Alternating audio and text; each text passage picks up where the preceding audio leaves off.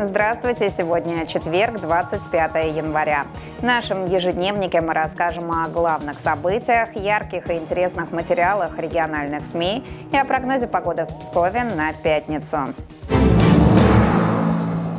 Чем заняты кандидаты на пост президента и что происходит на старте избирательной кампании в Псковской области? Надо ли тратить бюджетные миллионы на бесполезные проекты сомнительных НКО? Эти темы сегодня в программе «Сообразим на троих» обсудили ведущие передачи Александр Савенко, Константин Калиниченко и Сергей Васильев.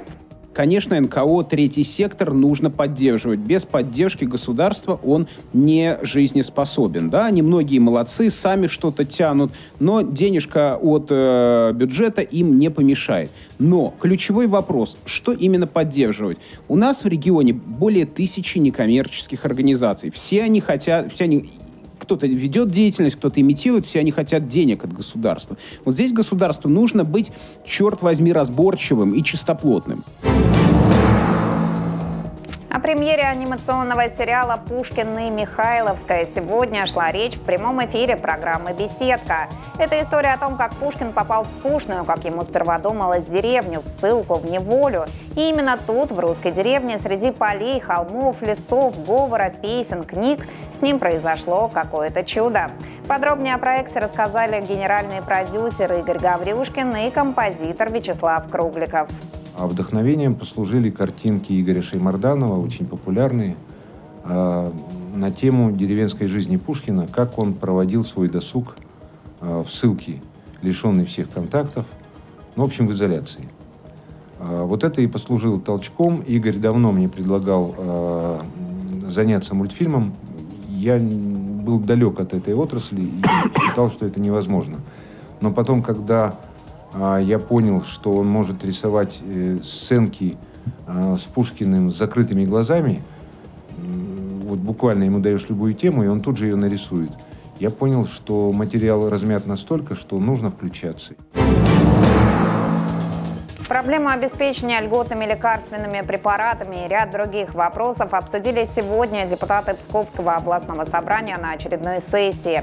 Спикер областного парламента Александр Котов рассказал Псковской ленте новостей о принятых решениях, призванных улучшить ситуацию с лекарствами. Корь называют одним из самых заразных инфекционных заболеваний в мире, и псковичам в начале 2024 года пришлось узнать об этом не понаслышке. В конце прошлой недели в Псковской области зафиксировали первые случаи заболевания. Сегодня их стало в два раза больше. Какая участь ожидает контактных после общения с больными корью и чем нынешняя ситуация аукнется семьям-антипрививочникам, узнавал корреспондент МК в Пскове. Эта зима оказалась богатой и на морозы, и на колебания температуры. Капризы погоды привели к авариям на сетях ЖКХ. В первые январские дни в региональном центре зафиксировали 75 аварийных ситуаций на сетях водоснабжения, 92 на сетях канализации и 10 утечек на сетях теплоснабжения. Депутаты областного собрания предложили повысить тарифы ЖКХ сразу минимум на 15%. О том, можно ли назвать повышение тарифов панацеей от всех проблем и не приведет ли это к тотальному росту неплатежей в программе «Дневной дозор».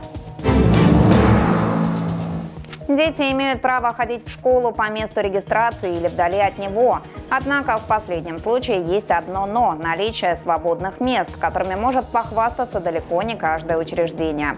Как легально отправить ребенка на учебу, кто имеет преимущества и льготы, что грозит за поддельную прописку?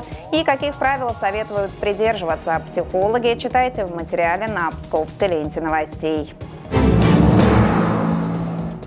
Проект «Псковский торг», рассказывающий о жизни рынков областного центра, на этот раз решил сосредоточиться на площадках, которые можно отнести в условную группу неудачников. Анализ негативного опыта – важная вещь для движения вперед. Так что изучаем причины, по которым не был построен масштабный рынок с катком и сценой на Запсковье, не полетел фермерский рынок в Акваполисе. И пытаемся заглянуть в будущее Магеллана с его возможным перемещением в новую локацию. И о погоде на завтра. В пятницу 26 января днем будет пасмурно минус 2, минус 3 градуса. Ночью также пасмурно 3-4 градуса со знаком минус. Ветер переменный умеренный.